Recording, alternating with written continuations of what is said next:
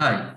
So now let us see uh, in the SQL select uh, command actually. So this is the very, very important uh, command where uh, we are going to work most of the times. Okay. So it is like a retrieving a data from the database actually. Okay. Uh, our actual skills basing on this particular uh, clause only, select command.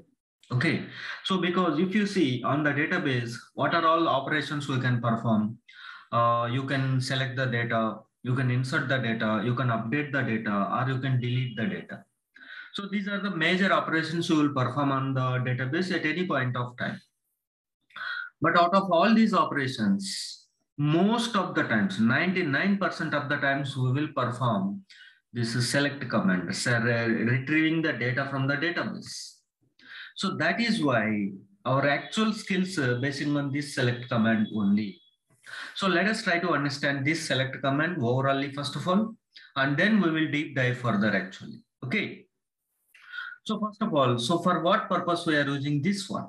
So that the select statement, the select statement is used to select the data from the database actually, very simple. So whichever data you want to show as an output or whichever data you want to retrieve, accordingly, we have to write down our select statement actually. So it will retrieve the uh, required data from the database. Okay, fine. So very important thing we must know is select clause structure. How select structure is going to be there. This must be very clear and very strict to follow whatever we are going to show here now. So that is the first one is select. So it is a, actually we are retrieving the data. What columns, what attributes you want to retrieve. So that you are going to mention after this select. So this is a keyword actually. Select is a keyword you must write down. And after that, in a table, what are all attributes are there or what are all attributes you want to retrieve those attributes you are going to mention immediately after the select uh, word actually. And then these attributes you are retrieving from where? So definitely one of the table or more than one of the table. So that is what the tables you must mention. So these are the two things you must have whenever you are writing a select statement. Whatever other, other uh, commands are also there in the select command, but those are optional actually. But the mandatory to mandatory things if you want to retrieve the data from the database is select. That means which attributes you want to select and from which table because database is nothing but a collection of tables actually. You are going to have many tables actually. So from which table you want to retrieve the data? Or from uh, which set of tables actually? So that is what from clause must be there and after that you have where. So sometimes actually here set of columns, so that is nothing but, uh, this is nothing but columns only as we seen already earlier. And here you can filter the columns actually. You can either you can display all the columns in a table or some of the columns you can display. So that means what you are filtering the columns. Now, when it comes to the where, here we will write the condition so that whoever satisfying that particular condition, which row is satisfying that condition, only those rows corresponding attribute values you are going to display. So that is nothing but filtering your rows. Here filtering your columns, here filtering your rows. So this is the whenever you have any condition. And then you are going to have group by clause. So this is especially we are using for the groups actually. So similar kind of data whenever is there under any column. So you are going to all similar data part, you are going to group them on those, on that group you want to work actually. So that we will see very clearly in the separate lecture. Okay. And then having clause. So here where is used to filter the rows and having is used to filter the groups actually.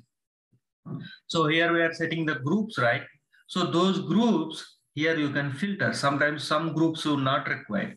So such a groups, if you want to skip from the output, then you can have having clause. And after that, you want to display the data. This is for displaying the data uh, in the output actually. So in which order you want to display, that is what two orders you have, that is either ascending order or descending order. Of course, we will see every clause separately. In the separate lecture, every clause we are going to see very clearly. Okay. So this is what the uh, structure of the select actually. And in this, all these six clauses, this is the mandatory part. So these two, select and from, see from which table you want to retrieve the data and what attributes you want to display.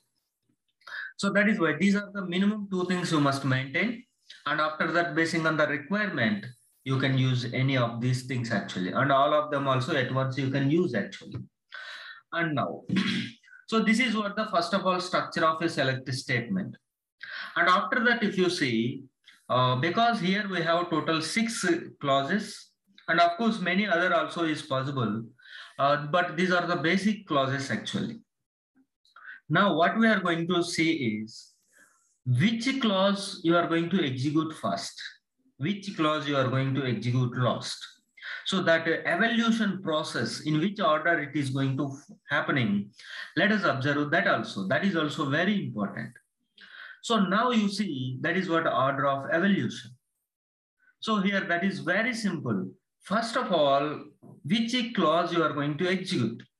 So that is what from clause actually because overall you are working on the tables only. First of all, that table data you must select. On that data only, either select clause, where clause, group clause, having clause, order clause, anything is going to work. So the first source is actually the from. So from the clause, in the from clause, we are going to have a tables or a table. That table data, first of all, you have to retrieve. That is why from clause is going to execute first. After that, you are going to filter the rows basing on the condition we have written. Okay, so maybe some rows are skipped because uh, whenever condition is not meeting actually. So on that data, you are going to group them if you have a group class, group by class. Okay, and then if your group by clause is there and may or may not have having clause. So if you if you have a having clause, then having clause is going to evaluate. So this is what is going to order order of execution. And after that, sometimes in the attributes here, we are going to have a expressions also. So after uh, what data you want to select, what data you want to display, that data is filtered, that data, final data is ready, on that, you can have, sometimes you may have expressions in the select clause. So you execute those expressions. And after that, we are going to have distinct because final data you selected already. That data, distinct as name implies unique data. No duplicates are allowed. Of course, we will see this also separately, let it be. So distinct is going to apply on this set of attributes. And after that, if you have set operators, so set operators are like a union, intersection, uh, difference. So we have different set operators are there. If you have set operators, after final data, after the entire data, what you want to display, that means uh, rows are filtered, columns are filtered, everything, everything is filtered. The final data, whichever is there, on that you are going to apply the set operators, if you have. And then the after final data is ready, even after if you have set operators, even that also completed, then you are going to display the data in a specific order. That may be ascending or descending basing on, basing on the uh, mentioned uh, thing actually. So this is what the order of evolution whenever you have a select statement. This is very, very important because whenever we are writing any query, okay, First of all, this order we must maintain and uh, for better understanding or for better efficiency or for better uh, optimization part, we must know in which order all these things are going to execute. Okay, so this is what something about the selected clause and let us deep dive uh, upon this select only in the coming lectures.